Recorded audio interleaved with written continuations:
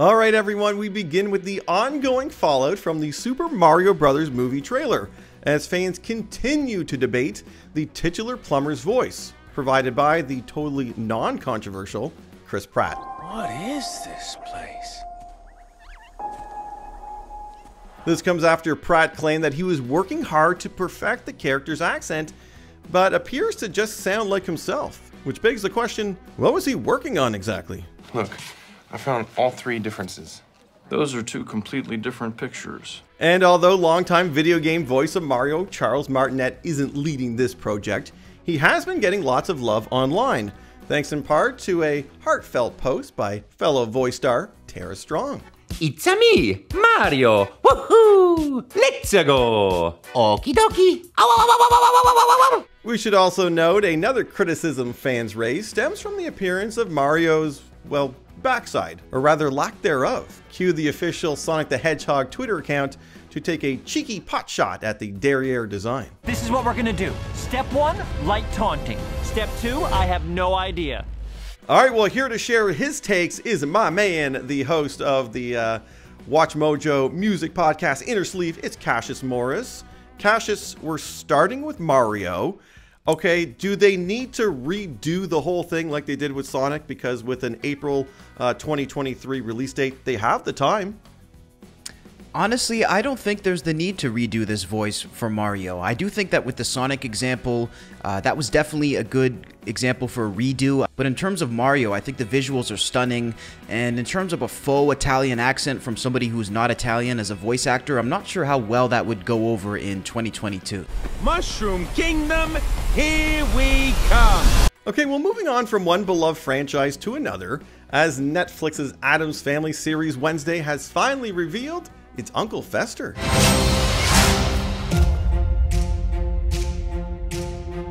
Uncle Fester. Yep, a new trailer shows SNL alum Fred Armisen in the role of Wednesday's uncle.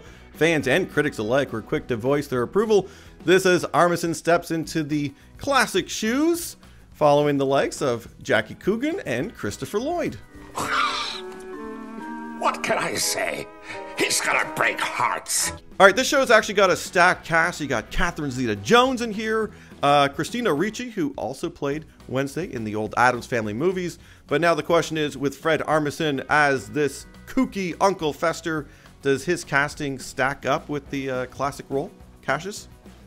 I think it looks great. You know, first impressions on this casting, he definitely has the modernized look of that Uncle Fester. Of course, the head is nice and shiny bald as it should be.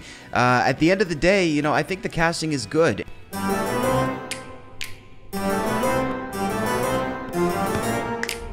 Okay, Cassius, I want to stick with Netflix because some family members of serial killer Jeffrey Dahmer's victims are condemning the White Hot miniseries. I'll just try and say I'm sorry. She gonna open your gift?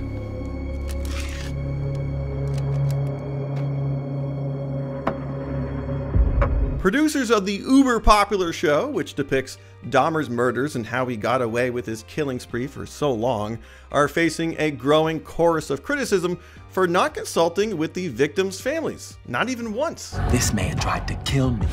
You're saying there's nothing you can do about that? Yes. I called you for months. Months. And while Netflix wasn't required to consult with the families, they are being accused of re traumatizing them. Add in a healthy dose of creative license, and some are calling the results harsh and cruel. I know. But nobody heard me. All right, Cassius, what says you? Are you watching the show, and is that criticism fair? I actually am watching the show, Matt, and I'm close to finish the series. And I do have to say, the one positive thing I will say about the series as it progresses is that it seems to be mostly focused from the victims' perspectives. And that's one thing that I really appreciate about this show. I think it's important that we tell these stories in order to raise awareness about maybe people who don't have a voice and make sure this never ever happens again. Okay, well, moving on to musical icon Madonna.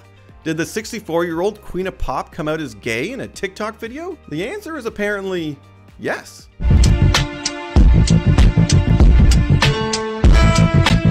Now, the Material Girl didn't leave any other comments on the video, and at the time of this recording has yet to follow up with any other post or message. No, yeah, you get in good trouble. good trouble. Yeah, you really do. Uh, no, no, no, no, no, why would you? Madonna? Madonna? Cassius, what do you make of this? Are you surprised by this late in life revelation that apparently that we got on TikTok?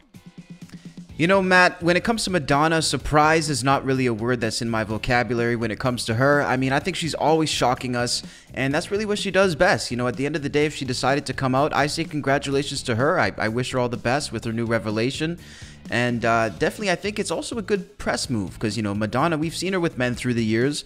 We've also seen her with women. Uh, so, you know, maybe this is just to keep the ambiguity going, Matt, and uh, maybe for the best when it comes to press. Okay, well, speaking of revelations, the smash hit Prime Video series The Boys has revealed some new girls who will be boarding the show's fourth season. We're all we've got. It's up to us. I think I have something. Amazon unveiled official photos of two brand spanking new supes Susan Heyward as Sister Sage, and Valorie Curry as Firecracker. People love superpowers. But real power isn't this.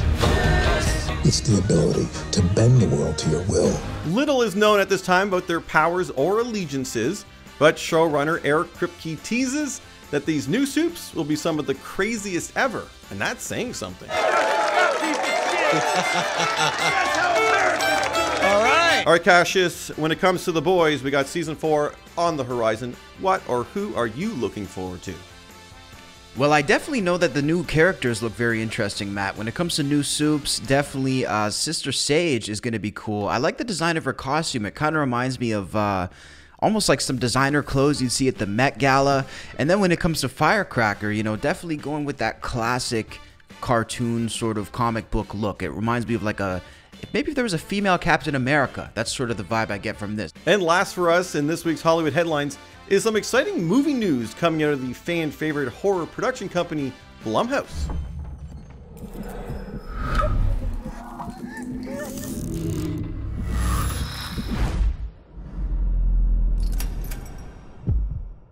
It was announced that the long gestating Spawn reboot film will be getting some new creative forces, namely Joker screenwriter Scott Silver, The Falcon and the Winter Soldiers, Malcolm Spellman, and rising writer Matt Mixon. Oh, and uh, Jamie Foxx is still set to star as the titular Hellspawn. You sent me to hell, Jason. I'm here to return the favor. Plus, the movie adaptation of the fan favorite video game series Five Nights at Freddy's is moving forward with director Emma Tammi. But perhaps most exciting is the fact that it's actually going into production in early 2023.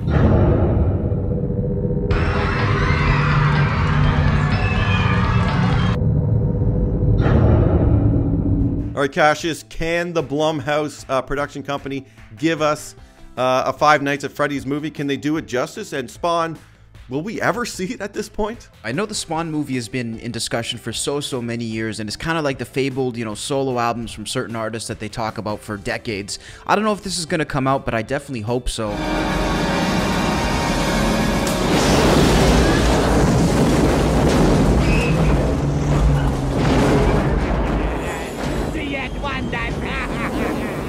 Terms of the Five Nights movie, uh, I definitely hope that they can pull this off as well. Apparently, this has been one of the highest requested movies for the company, and I think you know definitely a cult classic in in its own right, you know, to say the least. So definitely, I would like to see both of these movies come to fruition. Hey Cassius, I can't thank you enough for helping me break this all down today. My pleasure.